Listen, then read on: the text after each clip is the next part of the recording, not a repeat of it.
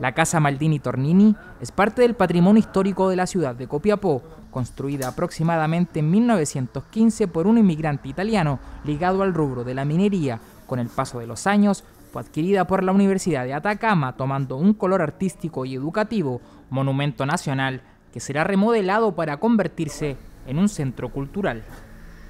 La importancia que tiene la Casa Maldini es que es parte del patrimonio histórico de la región de Atacama, es parte de las raíces de nuestra, de nuestra región. Se junta con una serie de otras eh, construcciones que están cercanas a este sector, de manera que podamos tener un, sitio histórico de gran valor.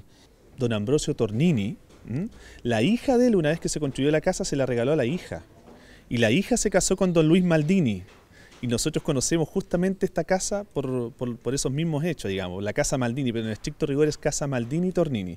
Ellos la verdad la utilizaron hasta el año 71 y posteriormente la vendieron ya el año 73 eh, a la Universidad de Chile. Después, como el año 74, empezó a utilizarla ya la Universidad de Atacama. El 2004 debemos reconocer que ya estaba con, con graves deterioros, se dejó de utilizar. Trabajos inspeccionados por el ministro de Obras Públicas que se encuentra recorriendo por estos días distintas obras de construcción en la región de Atacama. Es una obra que significa una inversión de 1.500 millones de pesos eh, y que está eh, con 10% de avance. Eh, en un año y medio vamos a tener aquí funcionando un centro cultural con de gran calidad arquitectónica, de gran capacidad de atraer a la juventud, de atraer a los turistas en un barrio que además tiene esas características y que puede transformarse en una ruta histórica con gran potencial turístico.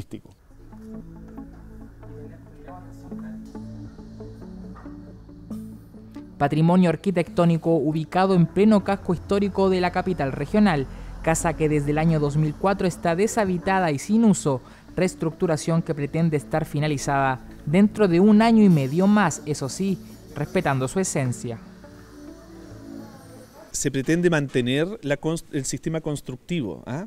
Recordemos que esto, los tabiques eh, son tabiques que están, ¿no es cierto?, en un, palillaje eh, eh, este, con estuco en barro. ¿ah? nosotros vamos a tratar de mantener ese, ese sistema constructivo, el, piso que es de pino oregón y todas sus estructuras, ¿no es cierto?, las soleras, pies derechos, diagonales, todo eso se va a mantener en, ese, en esa misma calidad.